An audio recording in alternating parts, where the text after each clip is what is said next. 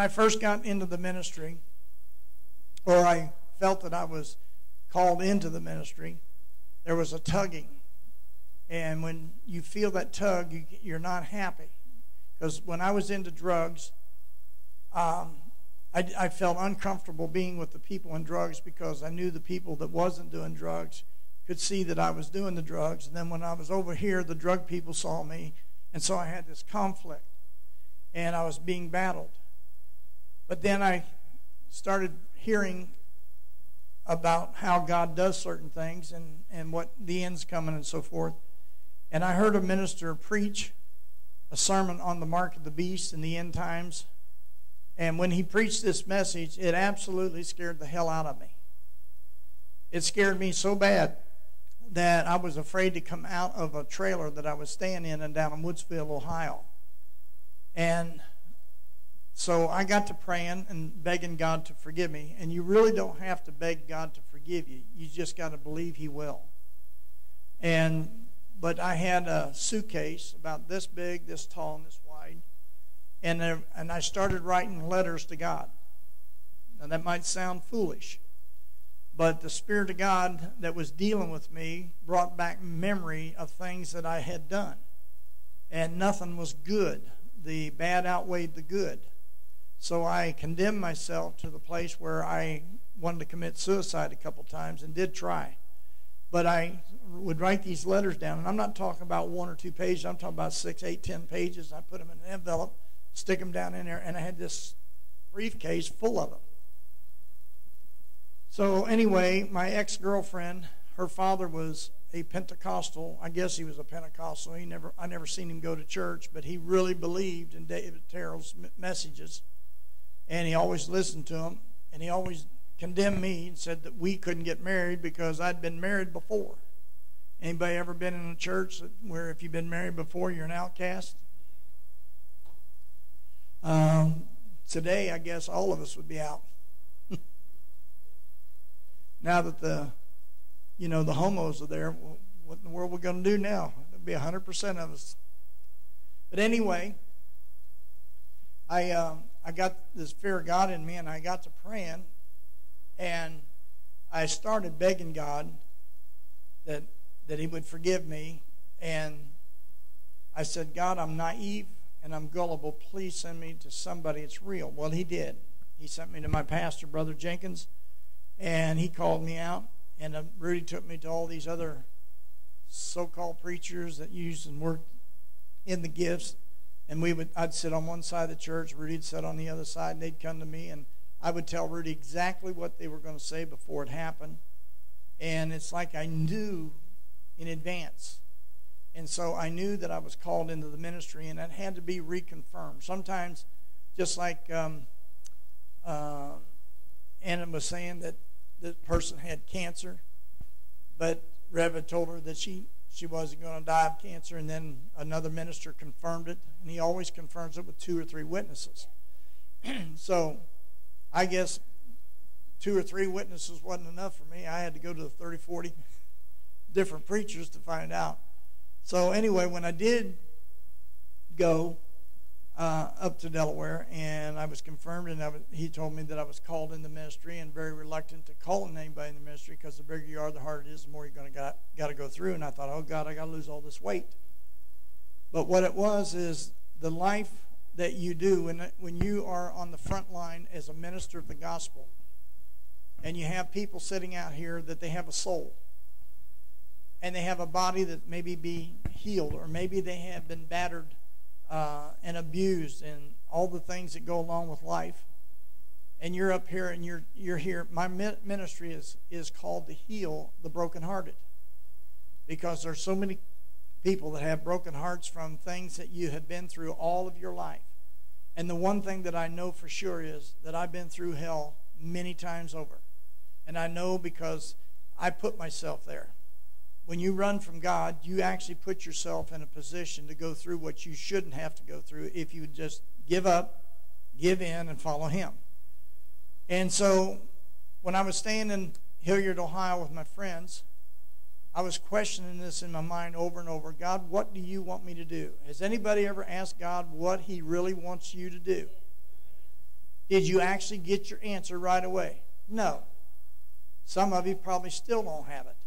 Because what happens is, is when you do get your answer, what you're going to find out is that it might not be what you want to know or want to hear.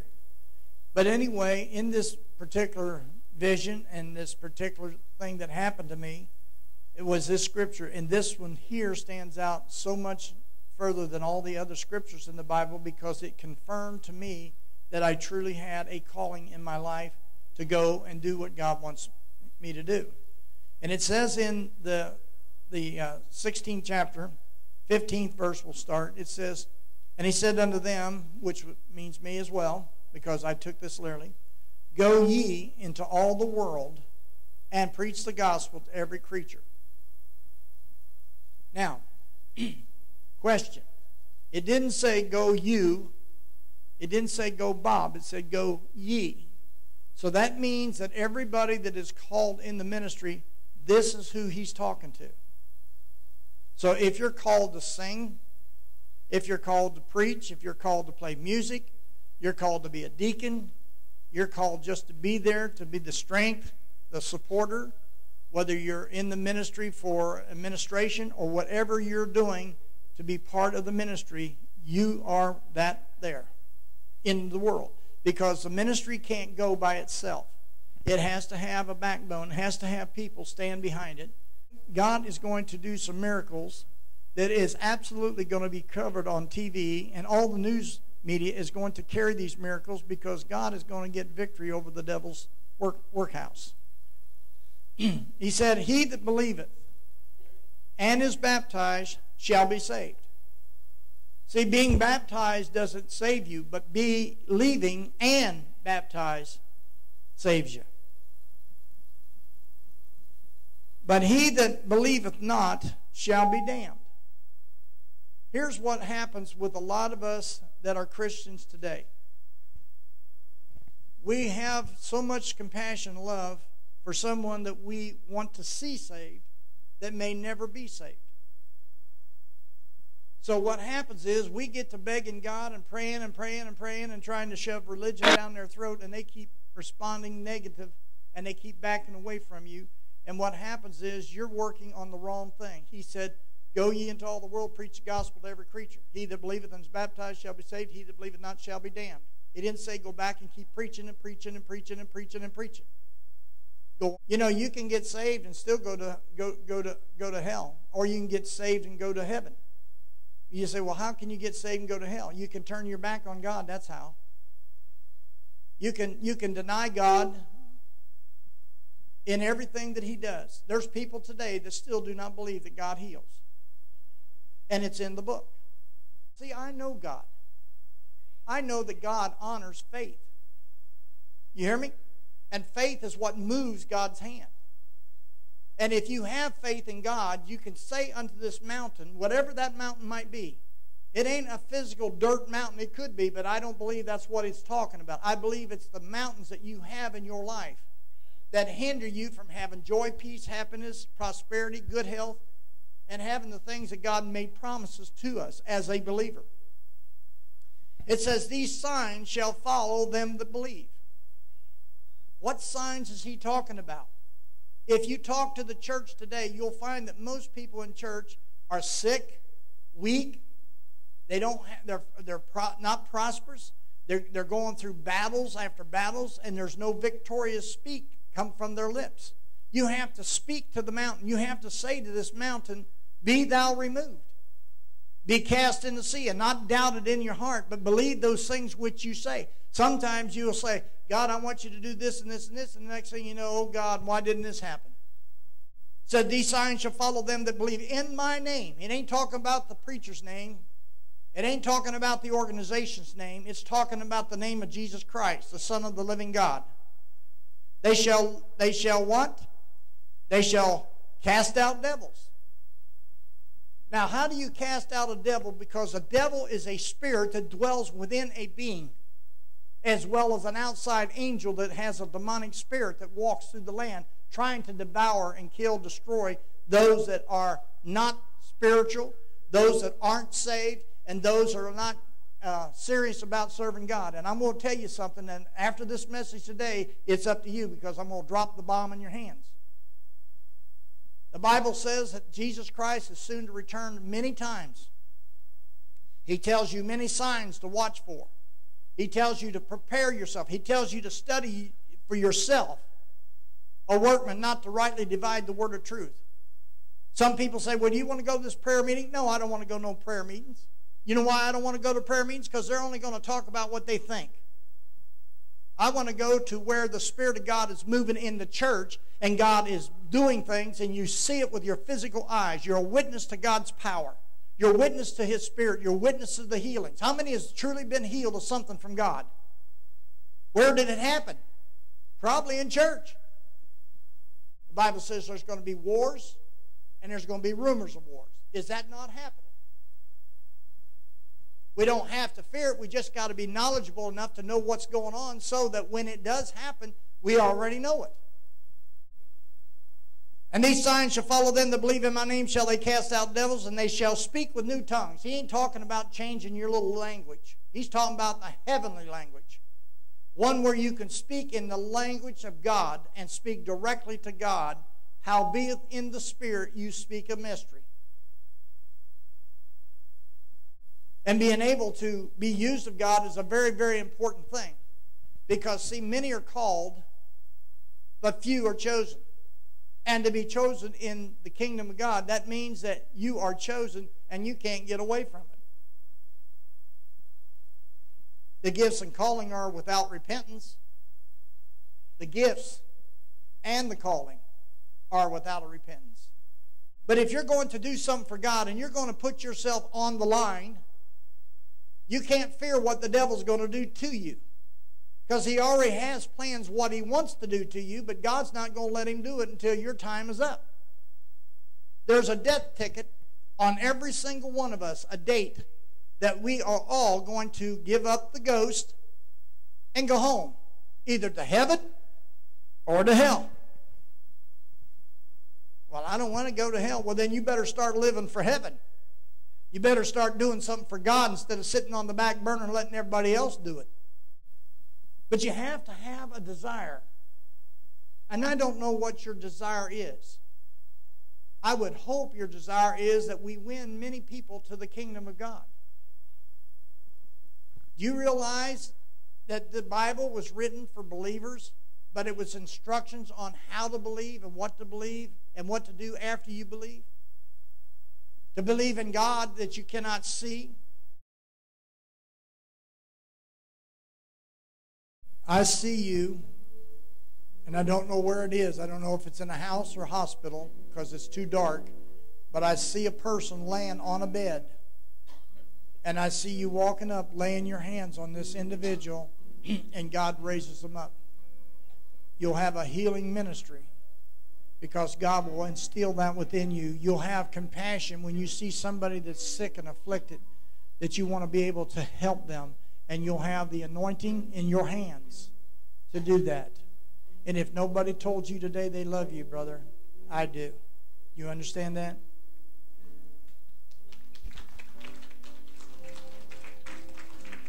God is assigning to heaven angels to be on your doorstep to watch over you. And one is assigned for Bill to protect him. And he shall be delivered. Is that the right spot? Yeah. Huh?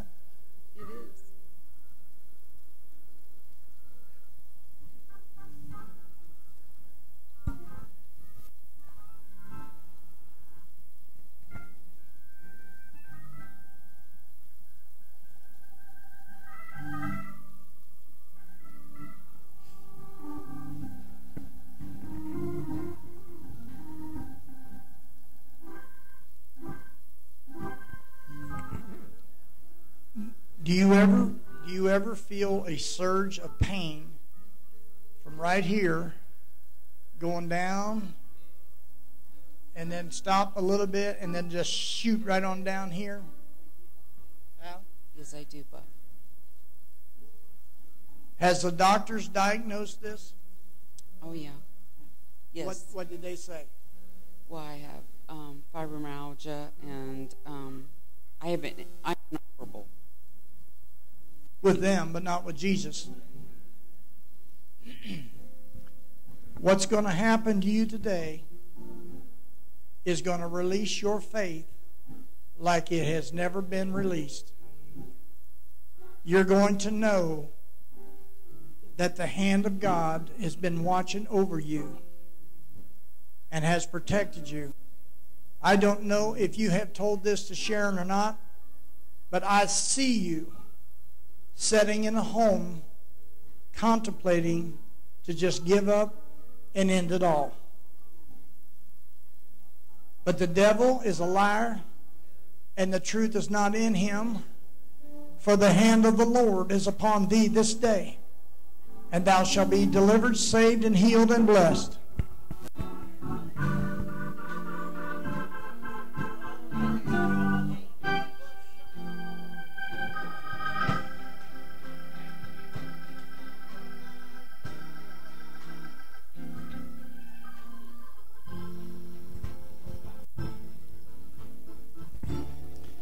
Wendy, I want you to start moving your legs up and down like you're marching.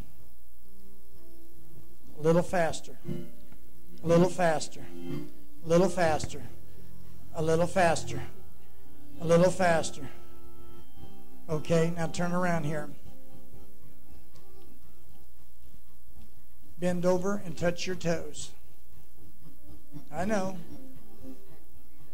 I know you don't. That's why I said go ahead.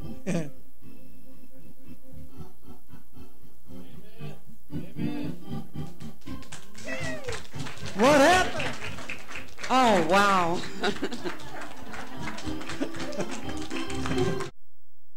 Father, you touched Pam and Rudy's dog. And I'm asking God that you touch his granddaughter's cat and dissolve that fluid off of the heart, Lord, and enhance its life. In Jesus' name we pray. Amen and amen. Father, I bring Precious before your throne of grace and mercy. I ask God that you protect her and watch over her throughout this last year of school. And that, God, you open up a big door for the desire that she has to be able to speak to those through sign language.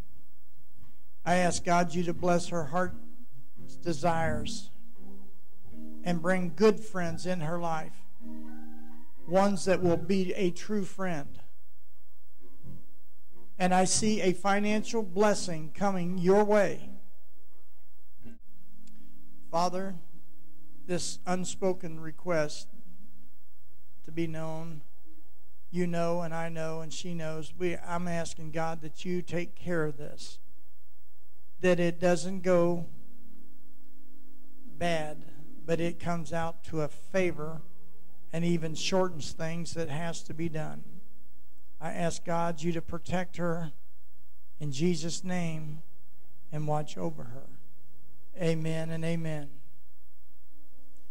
And if nobody told you today they love you, girl, you know. Went back to the doctor and I was diagnosed with some rare, because I'm so special, rare disease that can, is in my esophagus. And he said I'd have to be on medication all the rest of my life. And I told my sister, and I'm telling this and claiming this, it's not medication, it's dedication to the Lord. And so. Okay.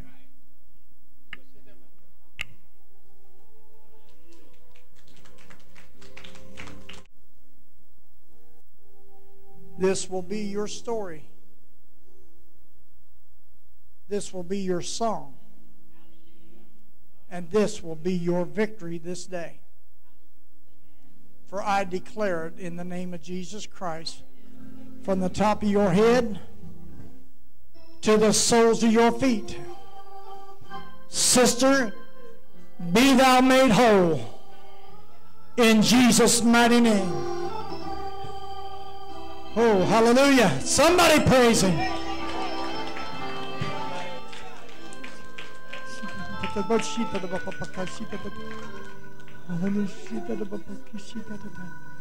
Woo!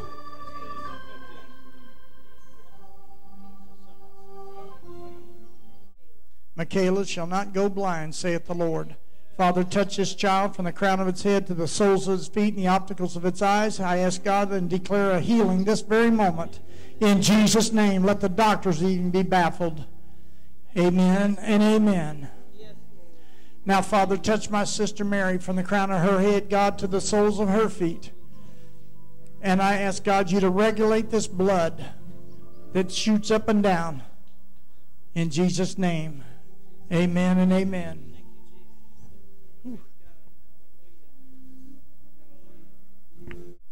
And I'm going to ask God to heal Frank. In the name of Jesus, that mass on his brain, I command it to dissolve and go back to hell where it came from and never to be found again. In Jesus' mighty, mighty name. Amen and amen.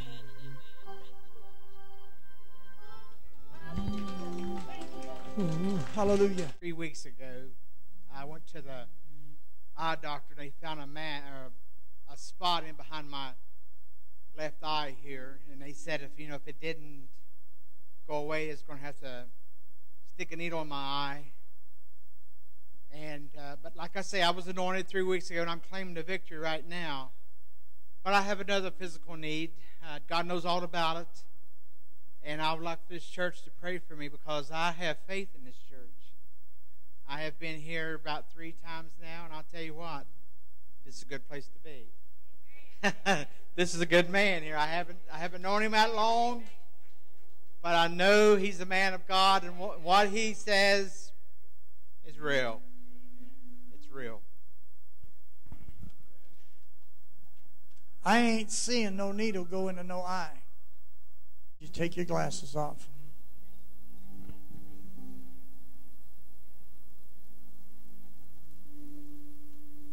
I'm pour some of this in your eye. This is what we call a miracle water. It's been prayed over and blessed.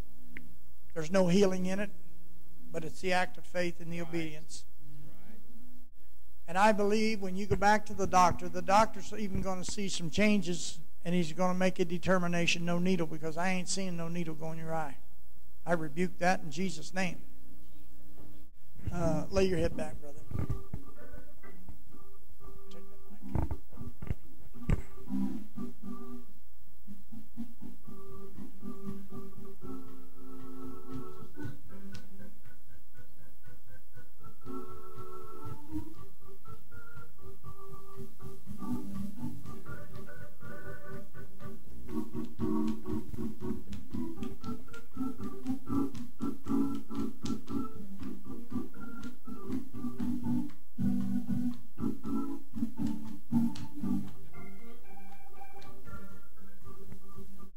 Right where you just laid your hand.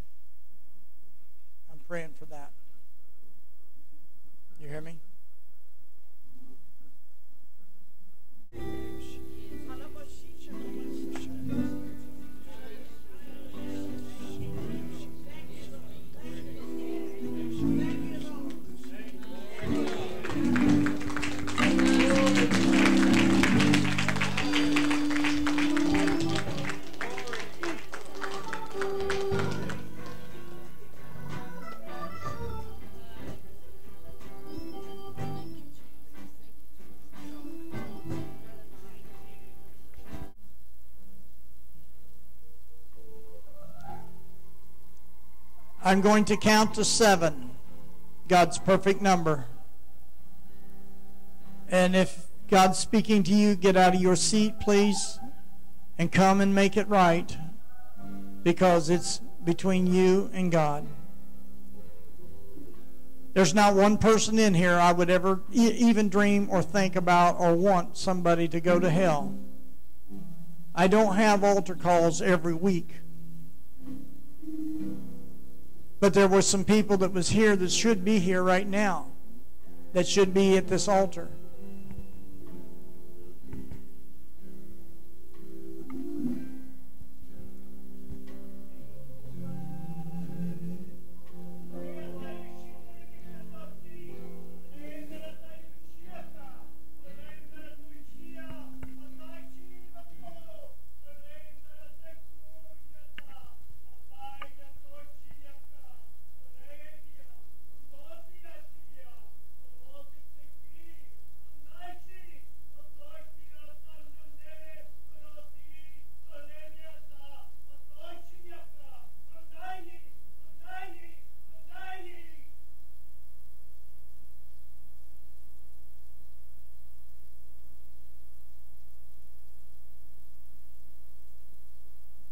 For the Lord has said that I am in this place and to hearken to the Spirit this day. For I am here to make changes in your life, in your heart, your mind, your spirit, and in your home. For if thou shalt give and surrender this day, I shall lift thee up above all of your problems, and I shall sustain you, and I will show you that I am that I am God, and able to do what I said I would do. If thou wilt walk in my spirit, and thou shalt stay close to me, saith the Lord, that I will bring you through the battle and the storms that's just around the corner that's coming upon the world as well as America. For I, the Lord thy God, has to let it happen in order to bring forth the pure in heart and those with the white robe that shall reign with me forever, saith the Lord.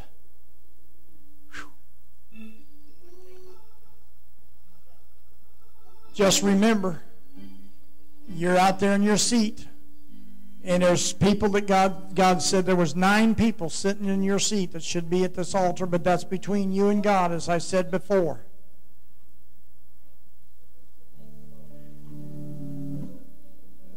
There is a way that we can get through what's coming upon America if we take a stand because God will lead you through it. I can't always tell you what I'm seeing in the realm of the spirit of what's coming because it offends some of you because of race or religion or uh, what I put out there is what some people call fear. But the Bible says the fear of the Lord is the beginning of the wisdom, and the wisdom is what you need this day coming forth. Wisdom to know God's voice, to know and understand what you're seeing in the midst of this nation.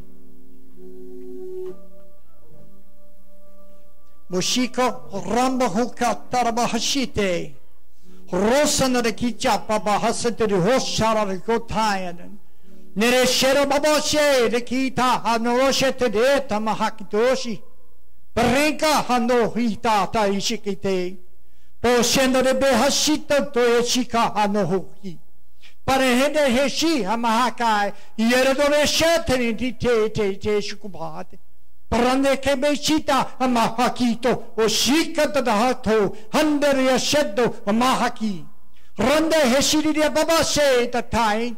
Correscendere al de pe Pedro si pa proprietà ne chiede uesha ada anieci niente da honna hakia ogni hete ni hete a ma ma hete hoto huci ogni te no Cain ne dice no tana nakita ronda ronda ronda che uscita da bahaka tuici rinda baba shita ende non dico na hakandere shiko na na hai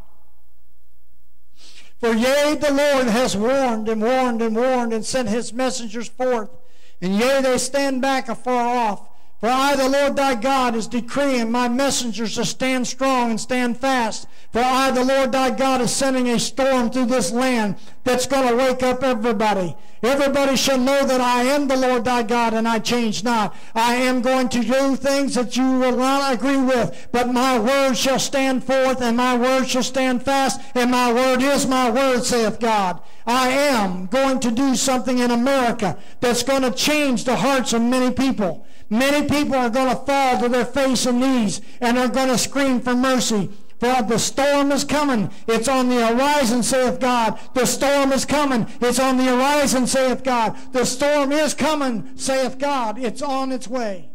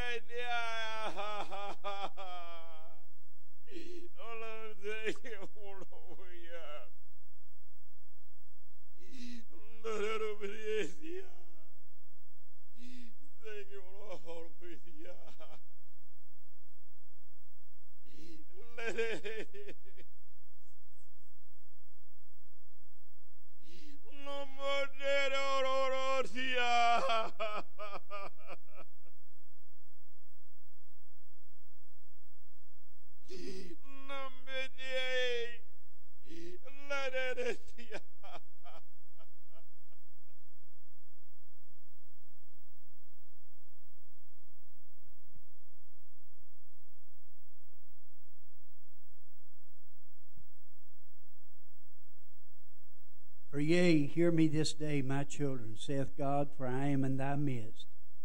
Know that thy nation and thy government is trying to push me away, but for this land was founded upon me.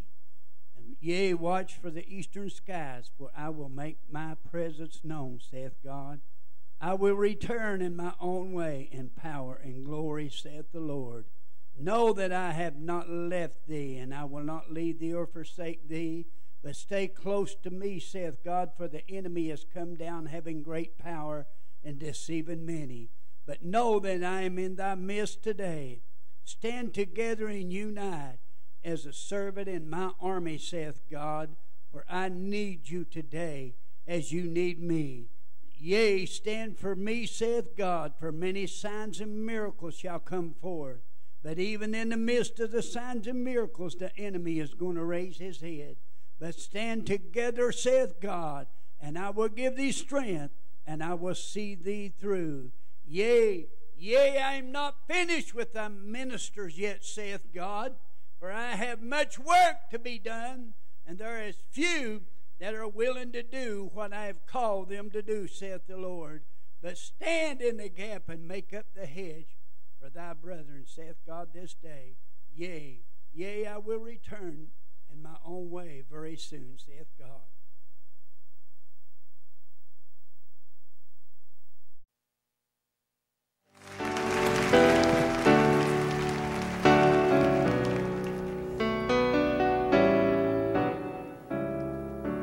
Mm, Your grace